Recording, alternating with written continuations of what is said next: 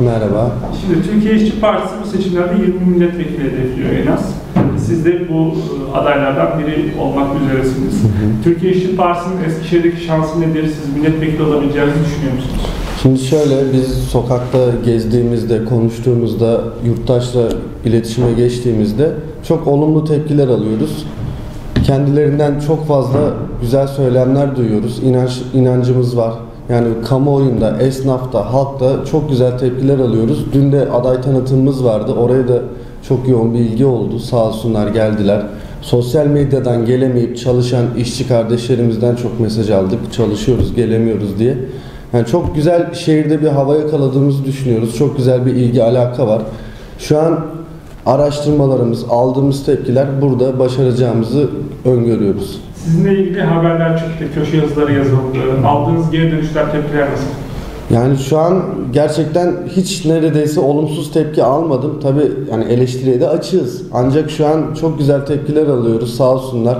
Özellikle e, motokurye olduğumu bilen şehir dışındaki bütün kurye derneklerinden, motorcu gruplarından çok fazla destek ve röportaj e, teklifi geliyor sağ olsunlar. Yerel basından o şekilde.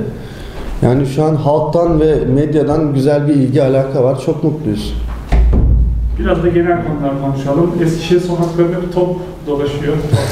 Sizin konuda neler düşünüyorsunuz? Yani şimdi şöyle e, Fatih Dönmez gelmiş iki gündür Eskişehir'de ya da 3-4 gündür geziyor. Açıkçası benim 950 bin TL'yi alacak, tırnak içinde söylüyorum yerli bir otomobil alacak param yok. Ben motokurye işçisiyim, emekçisiyim.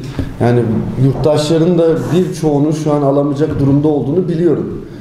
Benim makam aracı zaten e, görüyorsunuz bir motorum var. O da yani fiyatı da uygun bir şey. Çok öyle bir şey de değil. Motorumla ben makam aracım olarak sokak sokak geziyorum her zaman.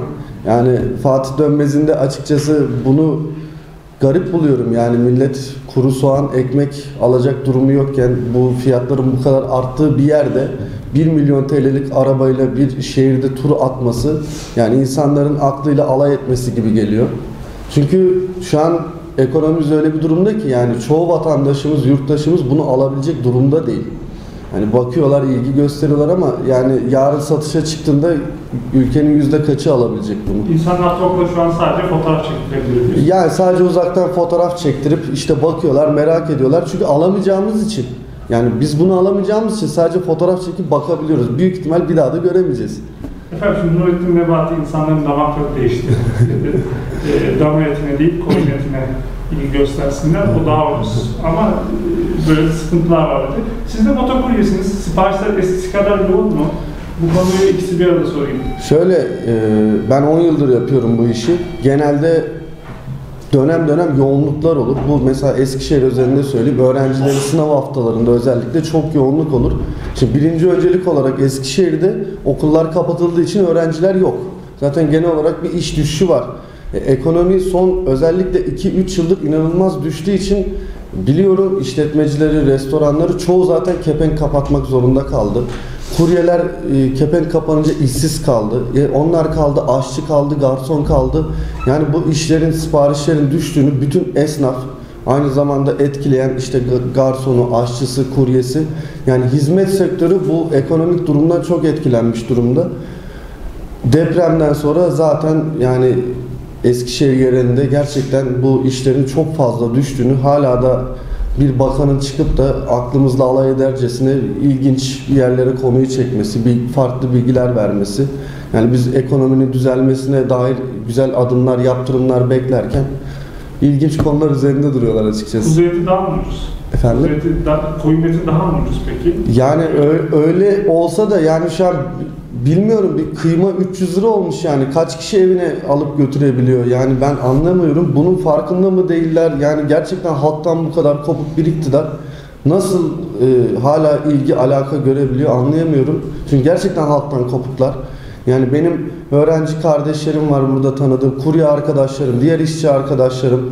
Emekliler görüyorum. Yani pazara gidiyoruz veya markete gidiyoruz. Hepsi isyan halinde yani 300 liraya bir kıymanın satıldığı yerde halktan bu kadar kopuk olmaları Çok ilginç. Tam ekonomiden devam edelim. Haftaya bugün Tabii. Ramazan bayramı. Hı hı, Şimdi ben baktım kolonya fiyatları uçmuş. hı hı. E, şeker fiyatları zaten pahalıydı, daha da pahalanmış.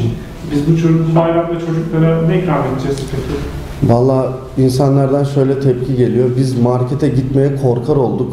Ailemizle, çocuklarımızla gittiğimizde çocuklar bir şey istediği zaman alamadığımızda yüzümüz kızarıyor. Yani bu ülkede çocuğuna bir pantolon alamadığı için intihar eden babalar gördük. Şu anda durum böyle. Ramazan bayramında bir babanın gidip markette bir çocuğuna şeker alamaması durumu gerçekten ülkemizin içler acısı halini gösteriyor.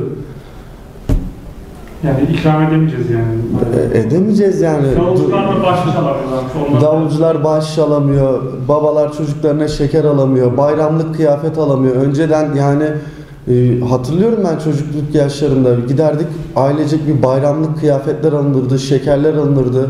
Kapıya gelenlere çocuklara bir bayram harçlığı verilirdi.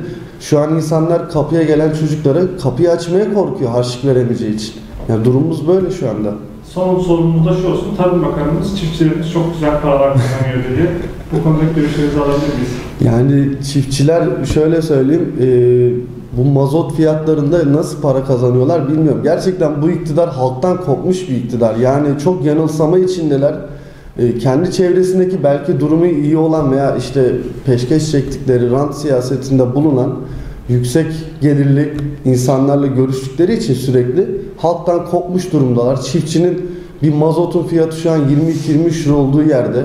Ya bu kadar nasıl olabiliyor? Gerçekten şaşırıyoruz. Çiftçilerin ben para kazandığını düşünmüyorum. Köylerden şehirlere geliyorlar çünkü para kazanabilmek adına.